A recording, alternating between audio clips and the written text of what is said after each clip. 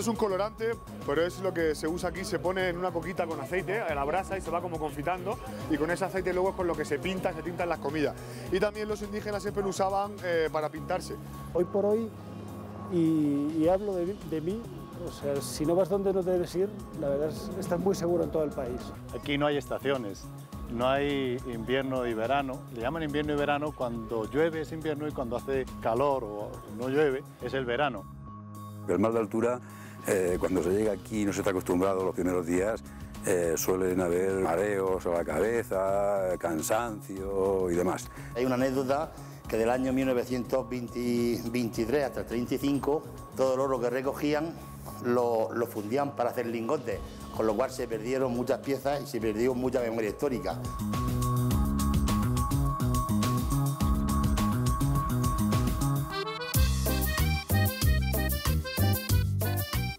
A 2.600 metros de altura existe una ciudad en el mundo donde casi podemos tocar el sol. Y nosotros hemos cruzado el Atlántico para que lo vean, en Bogotá, la capital de Colombia. El mejor café, las esmeraldas y la rumba tienen denominación de origen en este país, pero sobre todo la atención y la gentileza de sus habitantes, los bogotanos. Hace 500 años conquistadores españoles vinieron hasta aquí en busca del dorado, Bienvenidos a Colombia.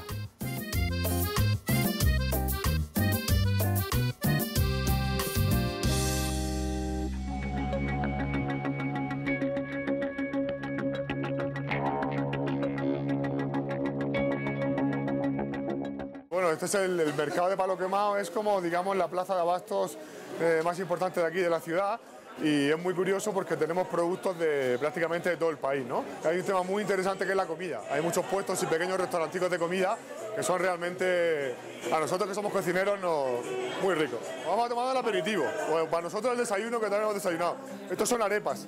Está hecha con maíz, digamos, el alimento más básico y más de, toda, la cordillera andina, ¿no? Se hace con, maíz y es realmente muy económico. Una arepa vale como mil pesos, que viene a ser como 30 céntimos de euro. Hola Lutari, ¿me das una, por favor? Y aparte, te das cuenta, los estancos aquí son muy curiosos porque son sitios que aquí a la gente le encanta la música y desde bien temprano por la mañana, también la gente que trabaja aquí, pues trabajan desde muy temprano, ¿no? Desde la madrugada pero siempre hay música y vienen aquí a tomar cervecita y tal. Este es un producto que no siempre hay, se llama, se llama bore. Si te das cuenta, mira, Sergio lo va a enseñar. Es un tubérculo y es una raíz gigante. Eso crece a la orilla de los caños. Y entonces va subiendo, entra, sale del agua, de la tierra, va saliendo, va entrando. Y siempre dicen, cuando yo lo comía o preguntaba, que era alimentación para los cerdos, es lo que le dan ahí a los marranos. Pero bueno, también yo lo he cocinado y lo he hecho frito así, cortadito fino, como si fueran galletas, y es delicioso. Aquí tenemos, estos son los ají colombianos que le llaman chivato, este pica como un demonio, es muy, muy picante. Y aquí se usa mucho, la gente gusta mucho el azafrán, pero lo que os voy a enseñar muy típico de hacer con un Se llama achote. Mira qué curioso. ¿eh?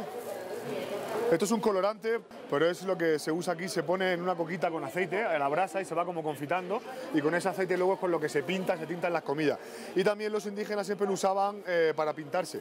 En época de guerra, en sus fiestas, no sé qué, con eso se mezcla con agua, se hace una pasta y es como para maquillarse. Thank you.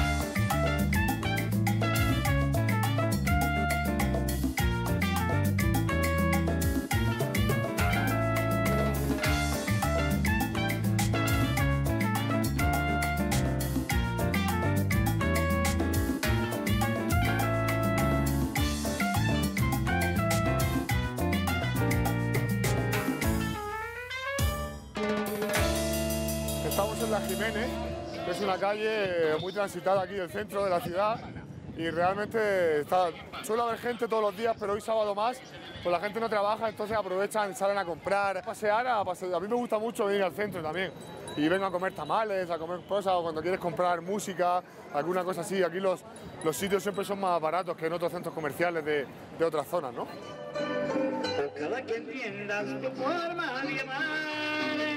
Ojalá que todo te salga bonito. Ojalá que nunca tengas que llorar. Aquí tenemos una cosa muy curiosa que se llama matrimonio, que es queso con dulce de guayaba.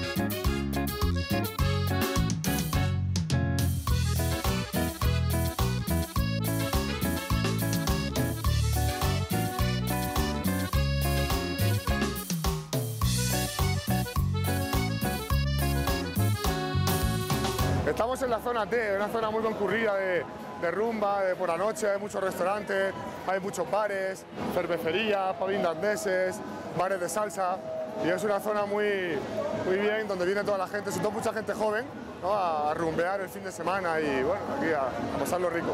Nada que ver con lo que hemos visto esta mañana. No, esta mañana hemos ido a unos ambientes un poquito más underground, ¿no? más, más colombiano real y esto es una zona un poquito más, más europea, donde también el, el nivel adquisitivo de la gente pues, es un poquito mayor. ¿no?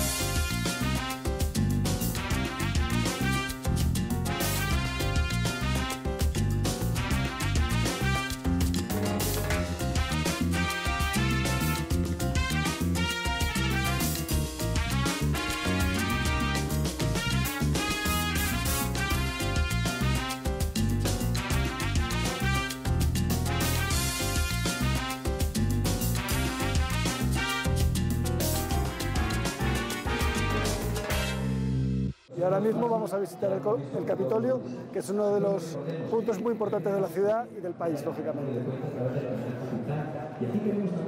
Esta es la Cámara de Representantes. Aquí es donde se toman las grandes decisiones del Gobierno y donde se reúnen los diputados periódicamente.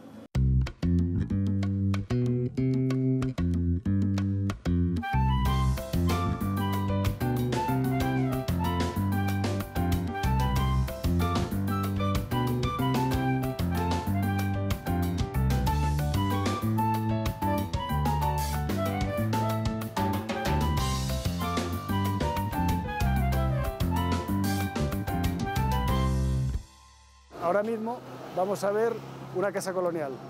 Entonces, ¿qué mejor, qué mejor casa colonial que esta, que es precisamente el Museo de Arte Colonial? Pasemos dentro.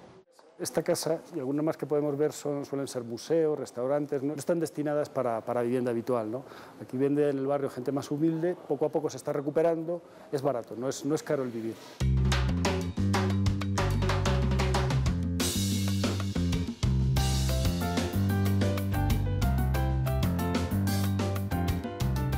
Vamos a almorzar, pero antes de almorzar quiero que sigáis probando cosas típicas de aquí. Más fruta. La, la primera de ellas es el salpicón.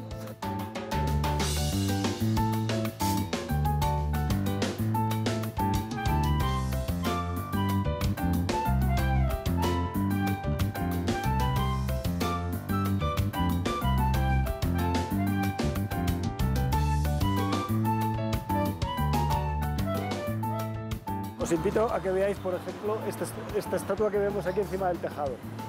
El barrio de la Candelaria está llena, llena de ellas, todas ellas en, en los tejados representando alguna forma. En esta plaza en la que nos encontramos ahora mismo es la que se llama la Plaza del Chorro de, de Quevedo y donde el cronista y esta placa nos cuenta que, que se, fundó, que se fundó la ciudad.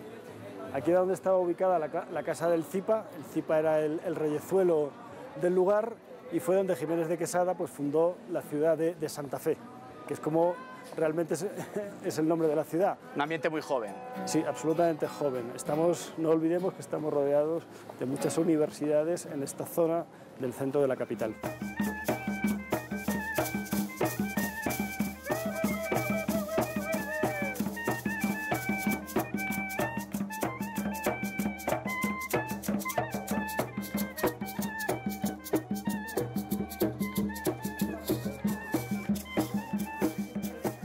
Se ve el sol, son las 6 menos 20, en 20 minutos será de noche, la gente ya está saliendo del trabajo, entonces es el momento, es, la hora pico aquí en, en- la ciudad de Bogotá. ¿Podría hacer una llamada? Sí, sí, En muchos de los, de los kioscos tenemos, tenemos el, el- el móvil, aquí llamado celular, en el que nos venden, nos venden las llamadas. Es decir, por un minuto, dos minutos, suele ser unos, unos 20 céntimos al cambio. Da una cadena, lógicamente, para que nadie se lo lleve. Para ir corriendo. Podemos hacer nuestra llamada, Desde luego, si te quedas sin batería en Bogotá, no tienes no excusa. hay ningún problema. Además, como podéis ver, la ciudad está absolutamente llena de, de kioscos como, como este.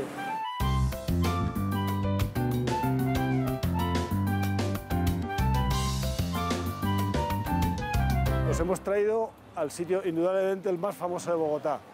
Esto es Andrés Carne de Res. Este lugar es patrimonio cultural de Bogotá y es el lugar de rumba más famoso de aquí de la ciudad. Lo más bonito de este lugar es ir viendo cómo, cómo, cuidan todos los detalles. subí allá y. Atentos a la animación.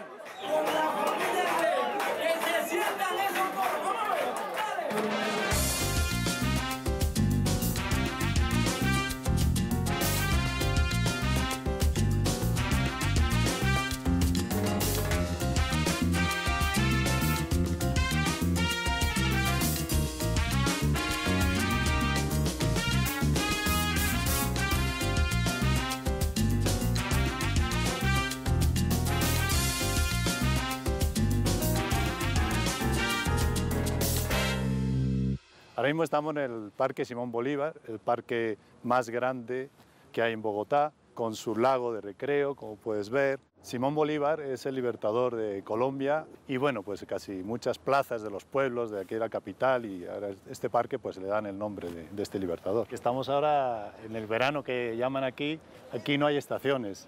No hay invierno y verano. Le llaman invierno y verano cuando llueve es invierno y cuando hace calor o no llueve es el verano. Y ahora estamos en la época que menos llueve y el sol pues pica bastante porque estamos a 1600 metros y hace bastante calor.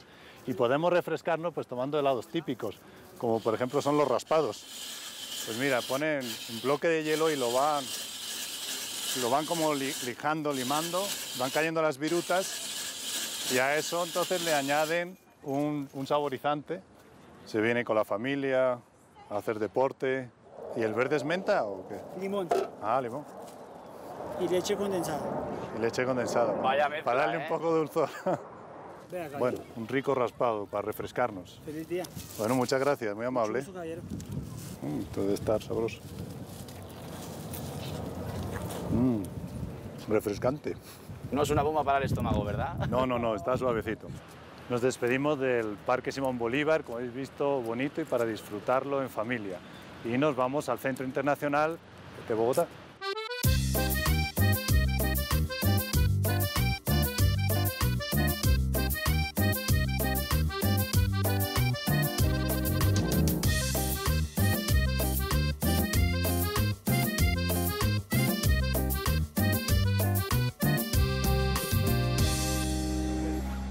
Iros de Colombia sin visitar el Museo Botero, el que hay en Bogotá, porque Botero, como sabéis, es más famoso, yo creo que en la actualidad colombiano, que tiene pintura y esculturas pues reconocidas en todo el mundo.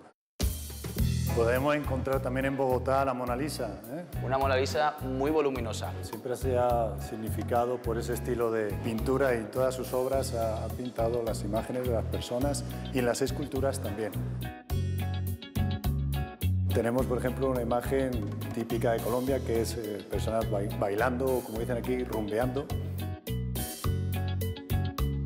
Pueden ser dos colombianos, pero evidentemente no son los tamaños reales. Es la típica figura de Botero y su tamaño y su forma de ver y entender el arte.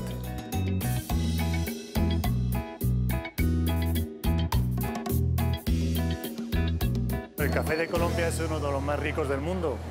Aquí es un país productor, sabéis que Colombia es un país productor y también consumidor. Aquí el café, como el país tiene distintas zonas, distintas alturas y distintos cultivos en distintos departamentos, hay cafés fuertes, balanceados, suaves, bueno, de todo tipo. Por ejemplo, este café de origen de, aquí de Cundinamarca, este es el departamento de Bogotá. El colombiano es un café suave, otros países tienen ca- cafés más fuertes. Ya hemos llegado a lo que es el Centro Internacional de Bogotá. La Torre Colpatria es el edificio más alto de Bogotá y hay un, mirador donde podemos llegar.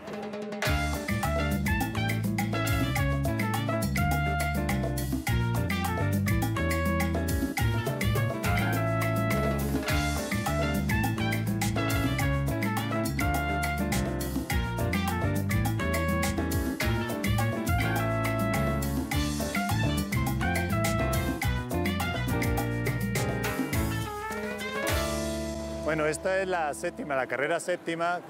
Recorre la ciudad de Bogotá de norte a sur y eh, los viernes hacen lo que denominan el septimazo, y es que la cortan a la tarde, la cortan al tráfico y la dejan solo peatonal. Así la gente puede disfrutar pues, un paseo por aquí.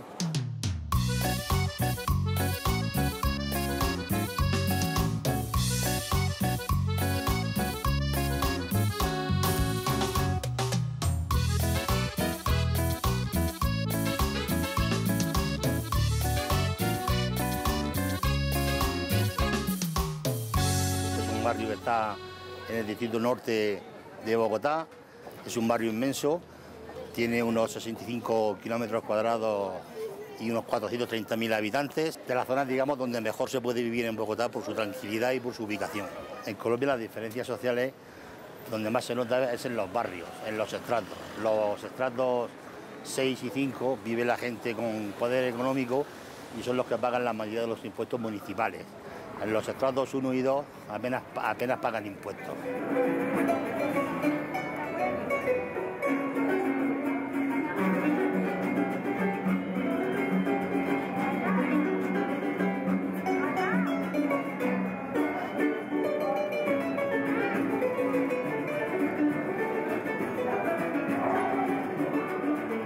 Estamos en la Plaza Santander, acercándonos al Museo del Oro, que vamos a ver lo que veréis que es algo espectacular.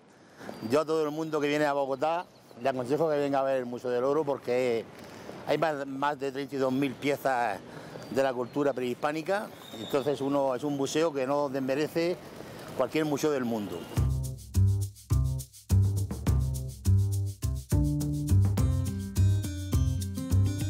El Museo del Oro fue inaugurado en 1939, pertenece al Banco de la República, pero hay una anécdota que del año 1923 hasta el 35 todo el oro, todo el oro que recogían lo, fundían para hacer, para hacer lingotes, con lo cual se perdieron muchas piezas y se perdió mucha memoria histórica, hasta que se dieron cuenta de lo que estaban haciendo y entonces a partir de 35 todas las piezas fueron recuperadas. Tenemos muchas esculturas en cerámica, tenemos aquí una gran máscara que representa el jaguar y el puma, que simboliza en el pensamiento amerindio el poder y las fuerzas masculinas. Esto tiene un valor incalculable. Pues sí, aquí, mira, en esta sala tenemos 3.200 piezas de oro, todo esto es cultura prehispánica, y aquí tenemos que son orejeras, narigueras, que son para la nariz, otros son amuletos y todo esto son, y otros son adornos. Mira, aquí en el centro tenemos todo este oro, representa el oro de la laguna de Guatavita. El cacique era muy mujeriego y, siempre engañaba a su mujer. Y una vez que la mujer lo engañó, él la mató. Y como la quería tanto, entonces se arrepintió mucho y como había, la, la había lanzado a la laguna todos los años, el día cuando se cumplía el, el aniversario de su muerte, iba él con todos los hombres, con todos los caciques de la zona y lanzaban todo el oro a la laguna. Los españoles creían que en esta laguna era donde iban a encontrar el dorado y esa es la leyenda que se llama de la laguna de Guatavita.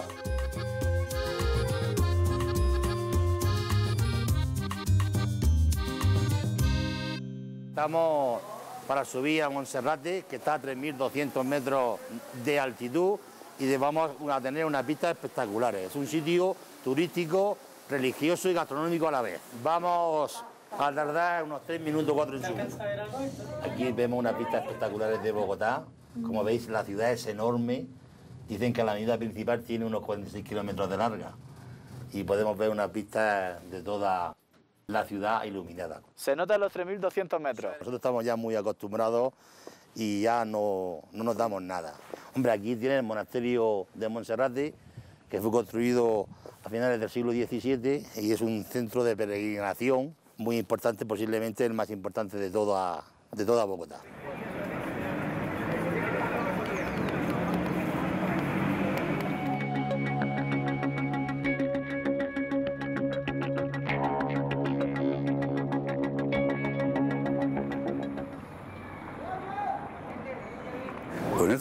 Estamos en un pueblecito a 50 kilómetros de Bogotá, en la sabana de Cundinamarca, que es Zipaquirá, y que es típico por su eh, eh, mina de sal. Es un pueblo típico y muy cercano a Bogotá y como podéis observar, eh, estando cerca de una gran ciudad, pues sigue manteniendo sus características típicas y sabor de pueblo. Aquí vemos un puesto que están vendiendo obleas. Si te parece, vamos a tomar una o te, te invito a una oblea. Venga, adelante. ¿Vale? ¿Usted qué le recomienda? ¿De, de, de qué sabor le recomienda usted la oblea? La olea típica rica la de La de Arequipe es, es la más típica. Es un, es un dulce que creo que te va a gustar Muy rica. y es bastante rica.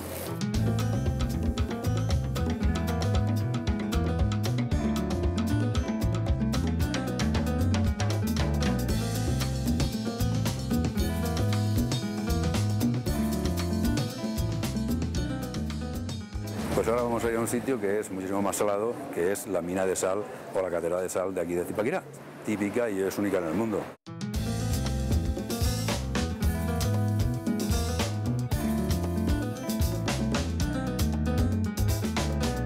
Creo interesante que primero eh, vengamos aquí a este lugar, que hay unas vistas maravillosas y con una altura importante. ¿Eso afecta al cuerpo? Pues sí, la verdad es que afecta al cuerpo porque el mal de altura, eh, cuando se llega aquí y no se está acostumbrado los primeros días, eh, suelen haber bastantes personas que sufren mal de altura. Mareos a la cabeza, cansancio y demás. Pero bueno, eso se pasa en unos días cuando el organismo se, aclimata. Y Colombia, en totalidad, es un país geográficamente montañoso. La cordillera andina, aquí se divide dos, uno hacia, sigue por el Pacífico y otra sigue hacia arriba, hacia el Atlántico. Vamos a bajar hacia la mina, vamos hacia abajo. Es una mina de sal en la cual hay construida la catedral. Se considera un monumento nacional, de los más importantes como tales dentro de, de Colombia. Esto que hay en la pared es completamente sal. ¿La probamos? Pues podéis probarla. Podéis probarla, que está salada. Esta catedral lo que consta son de las 14 estaciones de un via, del Via Crucis y esta en concreto, que es- estamos en la octava, en la que representa Jesús consuela a las mujeres en Jerusalén. Y a la parte de atrás vemos realmente lo que está haciendo la alegoría a, este, a esta estación de la Via Crucis. O sea, es, representa a la cruz eh, con gente de Jesucristo y a las mujeres una cada lado que nos está consolando el camino del Calvario. Bueno, esto, aunque es una catedral como de sal, tampoco hay imágenes alegóricas eh, como tales. Eh, este es el final del, del, del Via Crucis, que es una inmensa cruz de sal y que representa a Jesucristo, que es el final del Via Crucis. Y aquí eh, ofician misa eh, todos los domingos. La cruz no es que sea de sal en concreto, está tallada en un muro, en una pared de sal. O sea, es una cruz que está eh, tallada completamente en lo que es en este bloque de sal tan tremenda y que realmente lo que está es, es hueca y está iluminada por el medio. Si la comparamos con la altitud de, eh, de la ciudad de Bogotá, pues es una insignificancia. Pero creo que debemos de estar aproximadamente pues, entre 150 200 metros aproximadamente eh, de profundidad.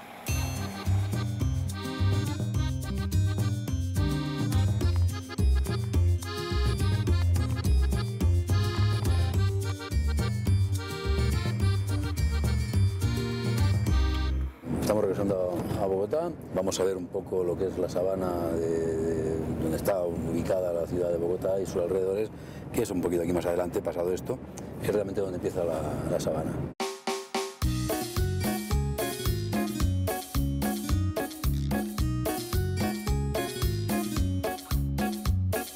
Esto es eh, la sabana o lo que se puede apreciar de lo que queda de la sabana porque está muy parcelada, muy edificada, pero todo lo que es esta planicie o altiplanicie, que es la que está asentada Bogotá y todos estos pueblecitos, pues era así, realmente así, que esto es lo que es la sabana.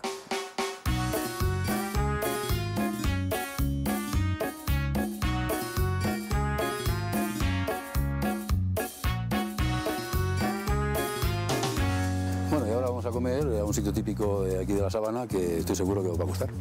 Vamos. Pues vayamos.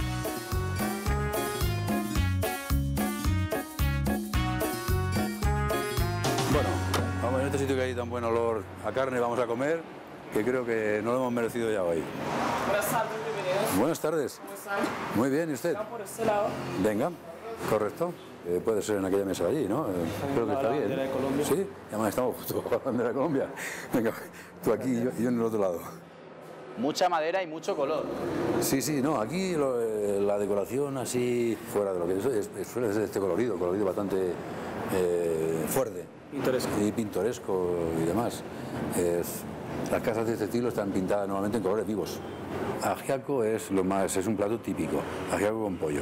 Y yo voy a pedir ajiaco con pollo, pero sin leche, sin crema de leche. Nos han servido el ajiaco, que es el plato típico de acá, un caldo que lleva base de pollo, mazorca, yuca, papa